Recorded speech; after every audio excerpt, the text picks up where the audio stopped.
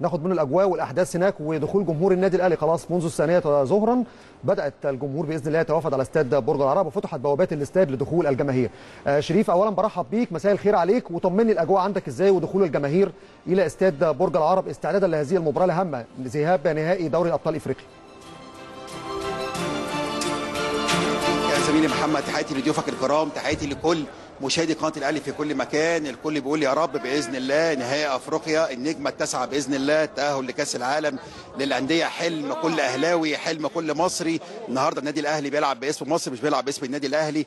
بإذن الله إحنا بإذن الله النهارده في الساعة التاسعه مساء بإذن الله على موعد مع النجمة التاسعة بإذن الله ويكون التأهل بإذن الله. نحط أول خطوة بإذن الله من من النهارده. يمكن زميلي محمد زي ما أنت شايف هنا الأجواء يمكن يعني آه الناس فرحانة الناس بتعبر عن آه سعادتها. يمكن الناس انت زي ما انت شايفهم يعني آه جماهير الأهلاوية آه عاشقة للنادي الأهلي. كانت حريصه تكون موجودة من ثلاث أربع ساعات فاتوا آه جماهير الأهلي مش عاوز أقول لك يمكن اجراءات سهله جدا في الدخول ما حدش شايف خالص معاناه. القصة هنا منظمه لاقصى درجه التوابير. الكل بيقدم التذكره بيتفتش بكل ادب وبكل احترام وبي آه على طول بيكون آه الاجراءات اسهل مما ما فيش اسهل من كده. هو وبيكون الدخول على طول سلس للمشاهدين. سامعني زميلي محمد ولا بتسمعني معنى كده هتافات الجماهير والناس بتغني إزاي بحب الاهلي قبل ما تدخل الاستاد. عايز تعمل 시원하게.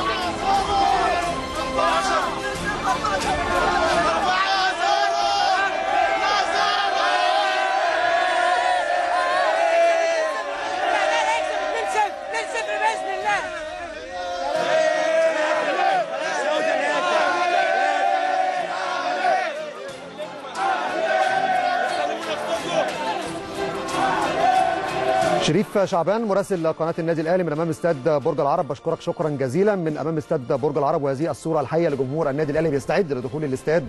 وإن شاء الله يكون يوم تاريخي بإذن الله في هذه المباراة النهائية مباراة الذهاب بين الأهلي والترجي. 2013 2012 2006 82 كلها بطولات إفريقية. كل بطولة رسخت معنى وتاريخ داخل جمهور النادي الأهلي.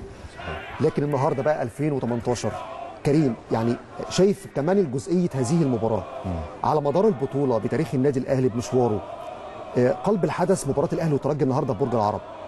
المنشطات الصحفية العناوين اللي حبيتوا تركزوا عليها.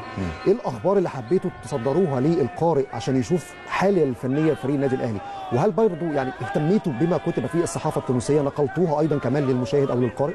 بص في ميزة في الصحافة التونسية عظيمة جدا إن الصحافة التونسية هي مش صحافة متعصبة يعني أو مش صحافة بتحاول تثير تعصب الناس. لا بالعكس هي صحافة في النهاية بتعمل زي الصحافة بتاعتنا إنها بتحفز فرقتها بشكل كويس بتحفز الترجي بشكل كويس. بتحاول بس أقصى حاجة عملتها إن هي بتقول للترجي اسأل من الأهلي ل والصقر حتى لو هو أنا بتفق مع زعيمنا هو لفظ تقيل شوية ولكن هو لفظ متدارك في الكورة. يعني إحنا دايما بنقوله في الكورة إنه اسقر من هزيمتك مش مش مش أكتر من كده. إنك تحقق الفوز ده اللي الترجي مطلوب منه النهارده من الصحافة التونسية.